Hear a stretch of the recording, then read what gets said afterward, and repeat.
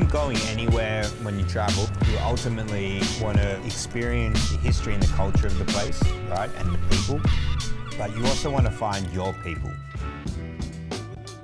Music is a special experience. It's an easy way to connect. It doesn't matter where you're from or if you speak the same language. When music hits you in the right way and you're in the right frame of mind, there's nothing quite like it.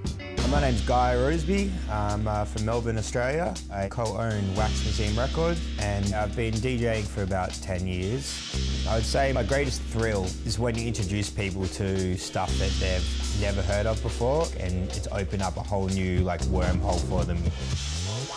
Melbourne truly does love its entertainment, its music and its arts. You can go out any night of the week here.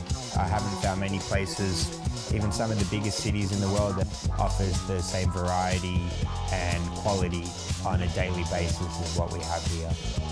When I've traveled overseas, I've met a lot of people through music. I've now got friends around the world.